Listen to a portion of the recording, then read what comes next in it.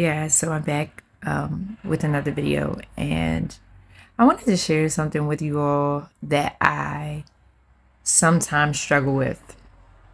So, one of the things that I struggle with as a believer, not a religious person, but as a believer, is when I'm adamant about what I believe in my God, sometimes, and I'm talking to someone, sometimes it can come off a little bit more aggressive than I would like for it to. This is just an honest, you know, I don't want to call it a struggle, but it, it it's an honest, this is just being honest or an honest, transparent moment. And so, like, I am the type of person where God means everything to me. But I, I also am the type of person where I'm like, Lord God, I don't want to deter somebody from hearing the words, even if they don't believe what it is that I'm saying. I don't want it to be that I'm not able to still plant the seeds because I'm so up here that I don't know how to come down. And so I'm praying that God gives me um, balance and the spirit of wisdom as to what to say and how to say it and when to say it, okay? Because when I start talking about the Lord, it's just like it's up here. And I was having a conversation and it kind of got up there and then I had to bring it down. But then I was still like having the conversation and I'm like, stop. Like, don't do that, sis right? This is for somebody. This is not just my word, but the Holy Spirit needs no validation. It will stand alone and it will speak for itself. Now, God will use us, you and I, use his words, use visions, visions, use dreams, use many different things to get his word out there to the to the masses. And we all know for those who read your word that Holy Spirit can't come, Christ can't come back. Christ can't come back. The Messiah, our Messiah, cannot come back until his word has been established in all four corners of the earth.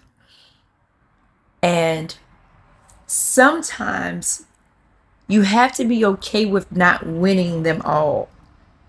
And I'm like, Lord, I'm okay with not winning them all, but I think sometimes it gets a little bit. Sometimes it's a little bit different when it's people that you love. And it's like, man, how can you not see?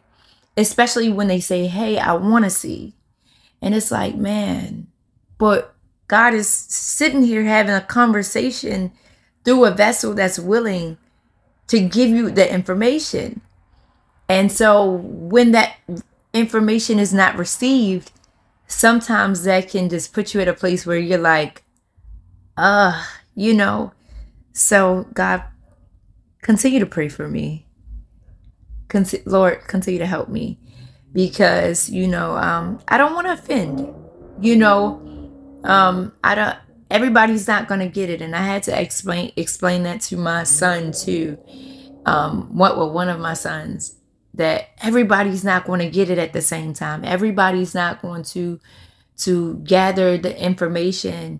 Um, maybe they've tried God, maybe, but see, God is not something that you just can try. God is an experience. He's a relationship and an encounter that you have to be intentional about, right? And so that there, okay?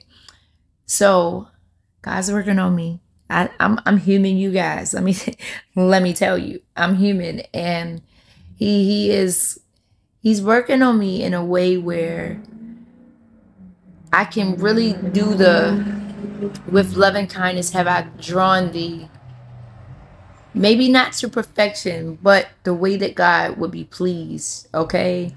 And I guess that's perfection, honestly, because I don't want to count myself out of an opportunity to plant a seed into someone because you're not held accountable for what you don't know.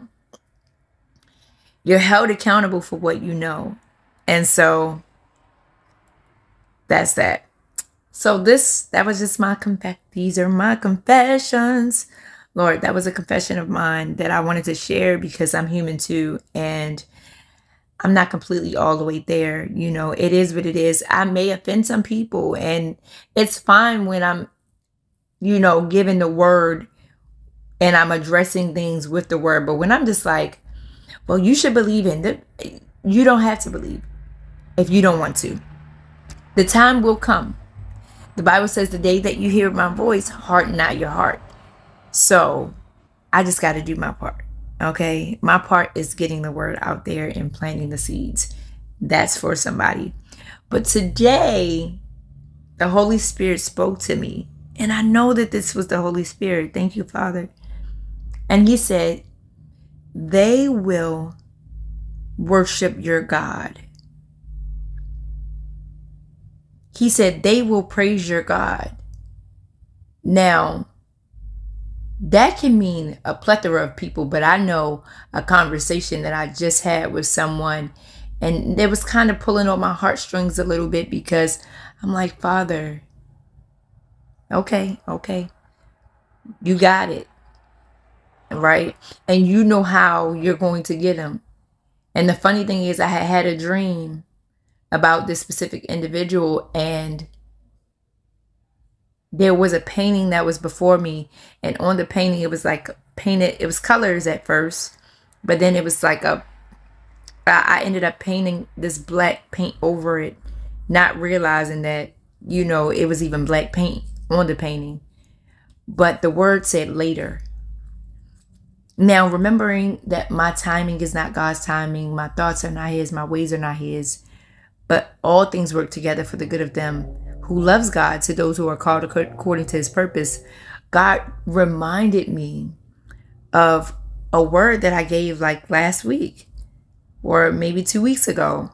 And it was talking about um, King Nebuchadnezzar. Now, that word was talking about pride comes before mighty fall, but God led me st- strategically back to Daniel 4 um, Daniel 4. I'm going to read 34 through 37. And it says, And at the end of the day, Nebuchadnezzar, I might be burning this name up, messing it up, y'all, but bear with me, okay? Um, Nebuchadnezzar, Nebuchadnezzar lifted up mine eyes unto heaven. Because he remember he had to be humbled. Go do the best backstory. Read, read. Okay, read, read it, read it for yourself. Okay. So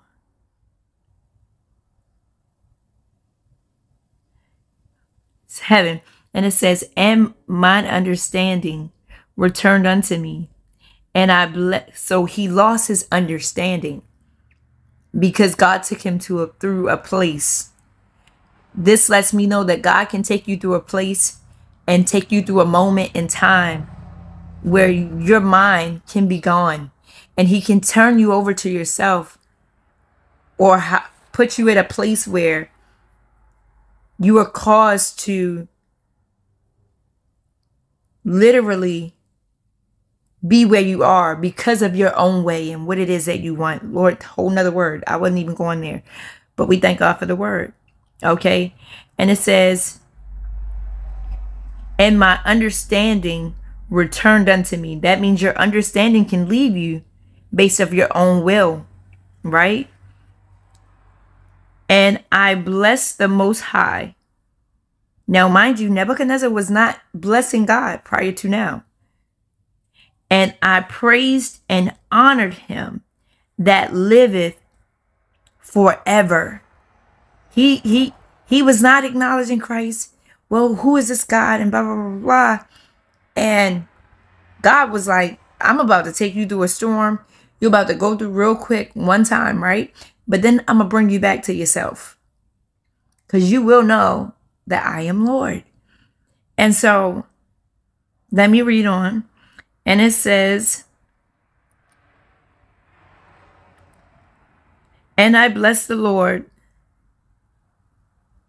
I mean, and I blessed the Most High, and I praised and honored him that liveth forever, whose dominion is an everlasting dominion. God of all gods, King of all kings. That's not in there, but dominion is everlasting dominion.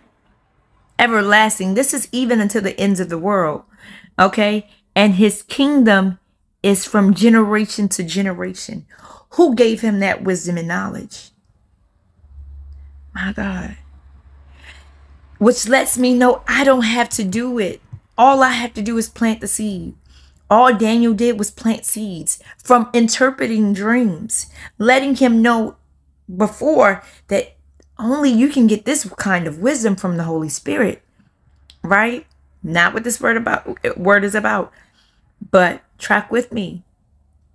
And so then it says, and all the inhabitants of the earth are are reputed as nothing, and he doeth according to his will. They will praise your God. In the army of heaven and among the inhabitants of the earth, they will praise your God. And none can say, and, and none can stay his hand or say unto him, What doest thou? No one can say that because we know who our God is. They will praise your God. What God am I speaking of? You got many gods of this world. You have many gods of this world. But I'm talking about Yeshua HaMashiach, Yahweh Jesus Christ of Nazareth, the Messiah. That's who I'm talking about. Yahweh, the Ruach HaKodesh. Inhale, exhale. I'm talking about that God. Oh, Jesus. Okay? And then it reads, and the same time, and the same time, my reason. That means your reason can be gone. You wasn't even reasoning well. You thought it was you doing what you was doing, and God had to take you and let you know that this, this, this is not true. He said, and at the same time, my reason returned unto me. Bro wasn't reasoning well because remi- remember, he had a condition that was a mental illness that caused him to think of himself as an ox. Now, the Lord can bring upon you many, many things because you want to be what you are, but not the reason of this message. But they will praise our God. So his reasoning came back unto him. This is a good word. And for the glory of my kingdom, mine honor and brightness returned unto me.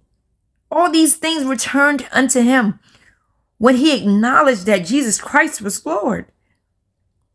Which lets me know God can take you down to your lowest low just to bring you back up to your highest high because he wanted you to give him all glory, honor, and praise. He wanted you to know that it was going to be due to your name, to, to his name. And they will praise our God. So then it says, and my and my counselors and my Lord sought unto me, and I was established in my kingdom, and excellent majesty was added unto me. So let me tell you how the blessings of the Lord make you rich and add of no sorrow. So where you think that you are doing something out here because you think you have faith and you think you believe or you think that you are it, God's like, let me show you that you're not it so that I can show you that I'm it. And the reason why you are it and will be it is because of me. And yes, it is because you took action. You chose to believe. You chose to have faith. You chose to step out on a limb. You chose. Mm-hmm. And then it says, and now, now I, Nebuchadnezzar, praise and extol and honor the King of heaven. Okay? The King of heaven and all whose works are truth.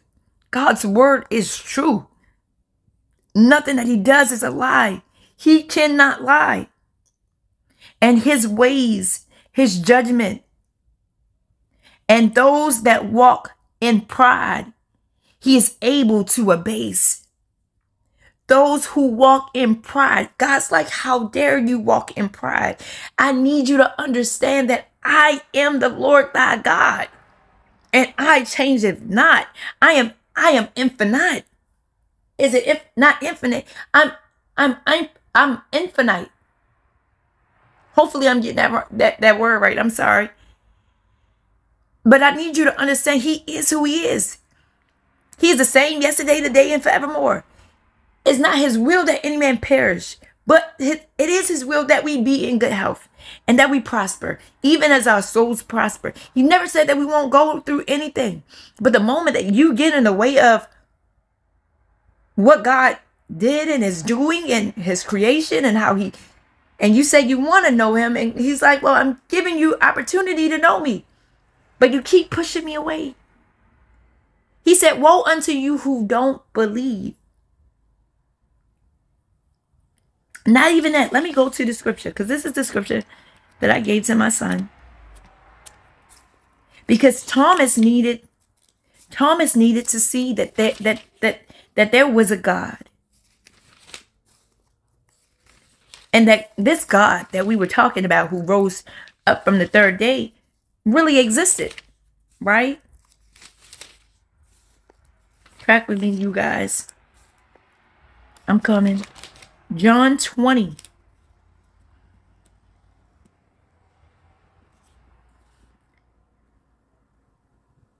So it talks about, it says, and after the eighth day, John 20, and this is verse 26, and after the eighth, after the eight days again, his disciples were within, and Thomas with them, and came, then came Jesus.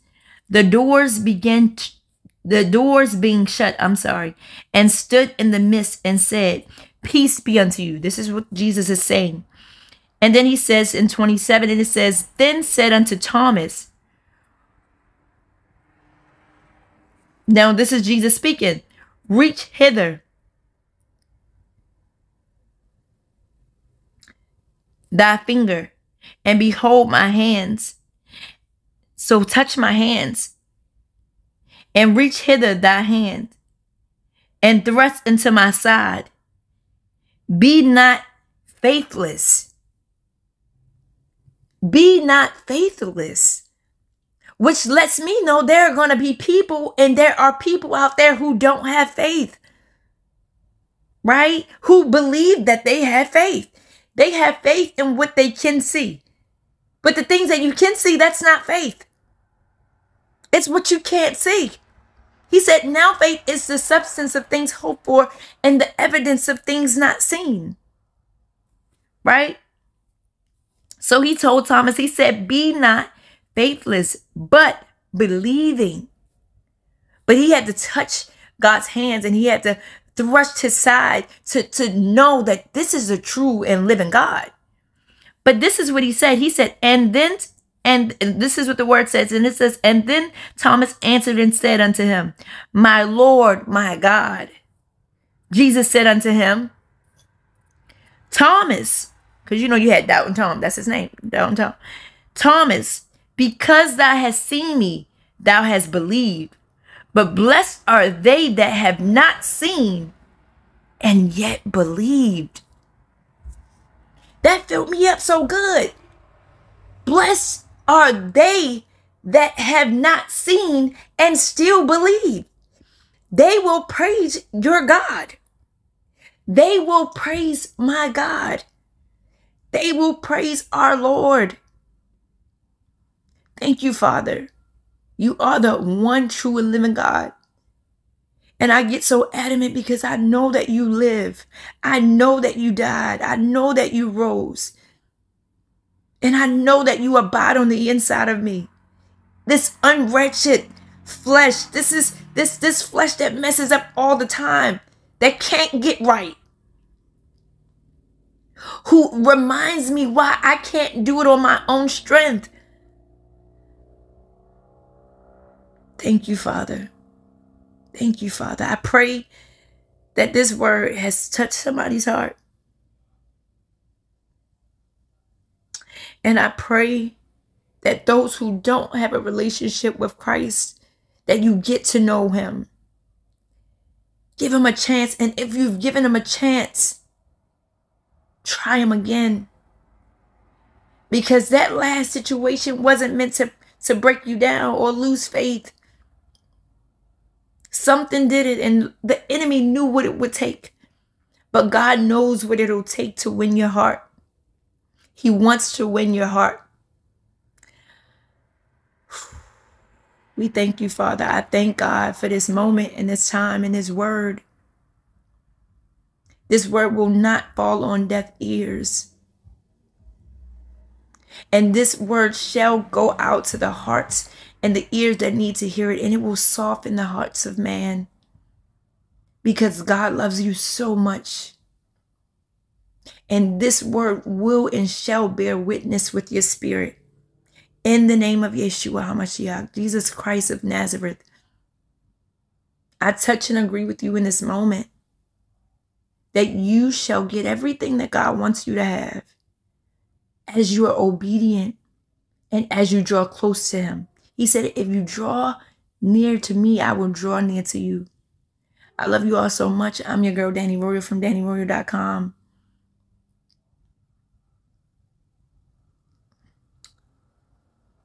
Thank you to all my new subscribers. I really, really appreciate you guys for just being patient with me and just for rocking out with me. Continue to pray for me. My health is still doing what it's doing, but I trust God. I love him. I worship him. I adore him. He is amazing. In every season, in season and out of season, he is. And they will praise your God. Remember that.